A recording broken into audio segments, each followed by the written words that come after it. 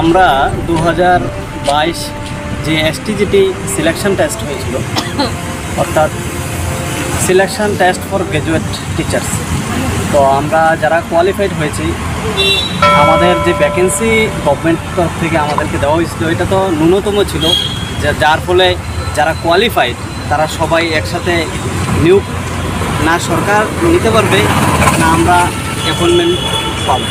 এজন্য আমরা সবাই বিনীত একটা প্রার্থনা নিয়ে আমরা এডুকেশন ডিপার্টমেন্টের যে আমাদের সম্মানীয় মন্ত্রী, ওনার সাথে দেখা করার জন্য আমরা এসেছি, কিন্তু উনি স্টেশনে নাই।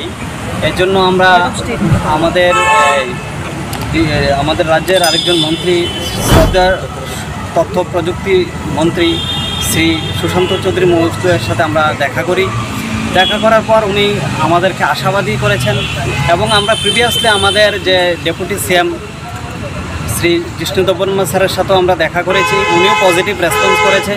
কারণ এসটি যে আপনাদের এসটিজিটি যে সিলেকশন টেস্টটা এটাতে ওয়ান টাইম এটাতে ওয়ান টাইম হওয়াতে যে একবার যদি নিয়োগপত্র না হয় তাহলে তাদের আর কোনো ভ্যালিডিটি থাকে না এক্সপায়ার্ড হয়ে যায়।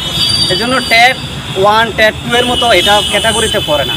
এজন্য আমাদের সাথে অনেক ভাই বোন আছে যারা বয়স উত্তীর্ণ অনেক কষ্ট করে বিএড করেছে, অনেকে লোন নিয়েছে, অনেকে জায়গা বিক্রি করে লোন আপনার টাকার ব্যবস্থা করে অনেকে বিএড করেছে। এরপরে এত কষ্ট করে পরিশ্রম করে তারা কি করেছে? সিলেকশন টেস্টের মধ্যে ভালো রেজাল্ট করেছে কোয়ালিফিং মার্ক তুলেছে।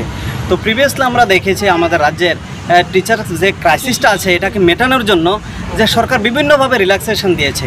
আমরা রিল্যাক্সেশন ট্যাট হয়েছিল। এরপরে গ্র্যাজুয়েট টিচার যারা বয়স উত্তীর্ণ তাদের